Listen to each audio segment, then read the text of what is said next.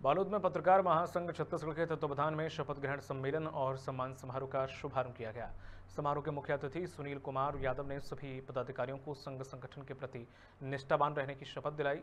विशिष्ट अतिथि प्रदेश कोषाध्यक्ष निहारिका ने कहा है कि राज्य में पत्रकार महासंघ के बढ़ते संगठनात्मक ढांचे और महिला पत्रकार विंग के माध्यम से महिलाओं का अधिक से अधिक पत्रकारिता के क्षेत्र में आना प्रोत्साहित किया गया।